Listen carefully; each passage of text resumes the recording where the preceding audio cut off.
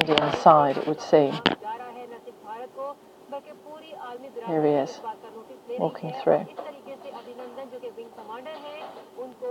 We've had correspondence there, um, not a, not part of the world that um, journalists often get to uh, report from very readily because of the uh, the security and the difficulties of, of travelling around. Back in uh, India's uh, care now, the gates being shut, no doubt.